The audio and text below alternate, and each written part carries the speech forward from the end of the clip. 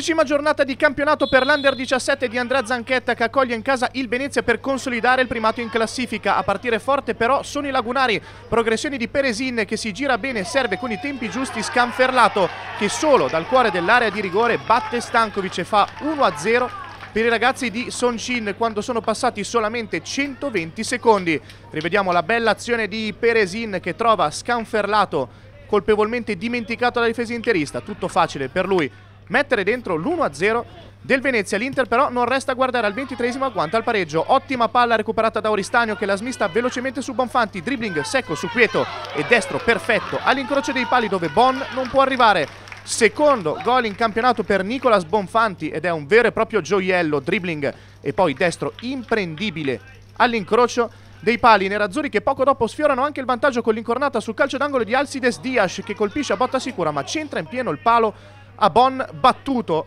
trovato perfettamente sul secondo palo Alcides Dias, palo sfortunato per il centrale difensivo nerazzurro, Inter che parte forte anche in apertura di ripresa, cross di Moretti per il neoentrato Esposito, colpo di testa perfetto su cui Bon questa volta è decisivo, numero uno veneziano protagonista anche poco dopo quando l'Inter ci prova su angolo, cross di Esposito, la palla è respinta al limite dell'area dove arriva Oristagno che di prima spara dal limite e trova nuovamente Bon con la mano di richiamo sulla sua strada. Il portiere lagunare però deve capitolare a 5 dalla fine quando Verzeni pesca in area Esposito che ci prova due volte e alla seconda porta in vantaggio l'Inter con il suo decimo gol in campionato. Gol caparbio, quello di Sebastiano Esposito di rabbia che porta avanti i suoi meritatamente è un Inter che nel finale poi dilaga, cross di Moretti, Esposito prova il numero, la palla arriva al limite dell'area per Riccardo Boscolocchio che di prima intenzione scarica un destro potente e preciso alle spalle di Bonn. Secondo gol in campionato per il centrocampista nerazzurro, il gol che chiude virtualmente questo match difficile per l'Inter di Zanchetta con i ragazzi nerazzurri che in pieno recupero calano anche il poker. Angolo di Esposito, Moretti salta più in alto di tutti e questa volta Bonn non è esente da colpe sul colpo di testa del terzino nerazzurro 4 a 1 Inter, firmato anche Moretti.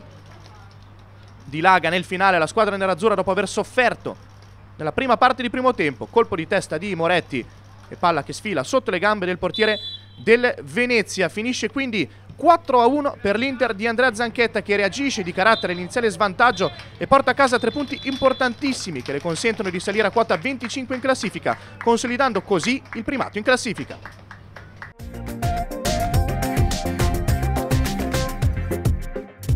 Nella decima giornata di campionato l'Under 16 di Gabriele Bonaccina ospita la SPAL, una sfida molto molto interessante con tantissime occasioni, bravi subito gli ospiti a sfruttare questa incursione di Digne che trafigge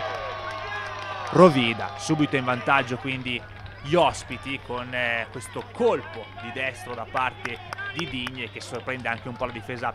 nerazzurra. L'Inter ci riprova reagendo subito con Benedetti che di sinistro va a colpo sicuro, però il palo nega la gioia della rete, un colpo fortissimo da parte di Benedetti che a tu per tu con Romagnoli trova questo palo clamoroso. Nella ripresa Sabia lavora bene il pallone in questo caso per Branzini che di piatto destro prova a piazzarla, palla però a lato prende un giro ad uscire palla quindi a lato. Ancora però l'Inter avanti con Sabia che dà spazio per Branzini che vede Peschetola, la palla però arriva su Gnonto che carica il destro, segna ma l'arbitro fischia per un fuorigioco che rivediamo dalle immagini sembrerebbe esserci con Willy Gnonto qualche passo in avanti rispetto al eh, pallone. Quindi qui vediamo ancora Sabia agire sull'auto di destra, palla per Zanotti, cross per Peschetola, piatto sinistro del numero 10 nerazzurro, palla in out. E ancora con questa azione un po' confusa dove l'Inter va in gol ma l'arbitro non si sa come mai annulla e fa ribattere appunto il calcio d'angolo, qui rivediamo l'azione, non si capisce bene perché l'arbitro il regionale del gol a Willy Gnonto, quindi nuovo calcio d'angolo per l'Inter con il colpo di testa di Casadea da due passi non riesce però a inquadrare la porta. Nella ripresa ancora spazio per Cappadonna che vediamo pareggiare subito l'incontro con questo bellissimo gol su azione personale, lancio millimetrico da parte di Willy Gnonto con Cappadonna, tu per tu con Romagnoli, palla da una parte, lui dall'altra, con poi il piattone destro per l'1-1 dell'Inter. Che però spinge ancora con qualche azione individuale con però Rovida molto attento ma sui sviluppi di questo eh, calcio d'angolo arriva il 2 a 1 per la Spal con questa incornata perentoria da parte di Faggi su un'ottima davvero prestazione da parte del difensore della Spal Inter che però sui minuti finali trova questo bellissimo gol ancora con Cappadona una girata magistrale finisce quindi 2 a 2 la partita con questo gol bello da vedere e rivedere perché è qualcosa di molto molto significativo per un ragazzo di questa categoria, un, una semi rovesciata bellissima che vale quindi il 2-2 finale, finisce così Inter Spal per la categoria Under 16, 2-2 il risultato finale.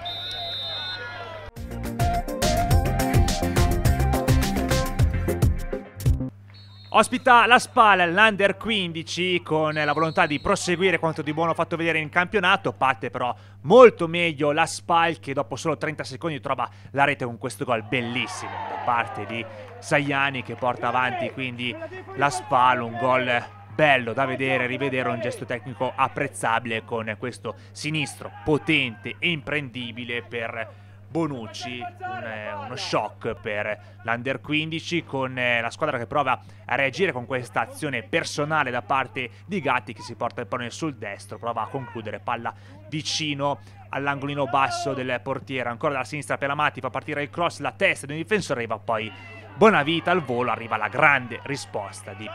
Pezzolato in corner su un'azione magistrale però di contropiede da parte degli ospiti arriva anche il raddoppio con eh, D'Andrea che porta il pallone, si accentra, serve poi la corrente di destra Contigliano che di sinistro batte ancora Bonucci 2-0 per la spalle contropiede da manuale del calcio per gli ospiti che viene concluso con questo bel piattone da parte di Contigliano 2-0 quindi per la Spal Uberti con l'Inter che trova e prova a farsi vedere ancora con Gatti che si accenta prova il cross per Sarri spinge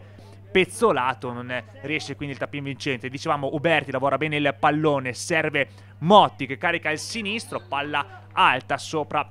alla traversa, altra grande occasione per l'Inter con ancora Sarki in azione personale, carica il sinistro, palla a lato. Sui sviluppi di un calcio d'angolo arriva l'incornata di Kugula, qui vediamo la palla di Pelamatti, arriva ancora la respinta, il cross di Pelamatti con Kugola che salta più alto di tutti e accorcia quindi le distanze, uno stacco imperioso da parte del numero 6 dell'Inter con eh, colpevole la difesa della Spike lascia troppo solo. l'Inter cabalizzata dal gol ci prova ancora con questa punizione di Pelamatti che trova ancora tu per tu Cugola che però non riesce a trovare lo specchio della porta. Occasionissima poi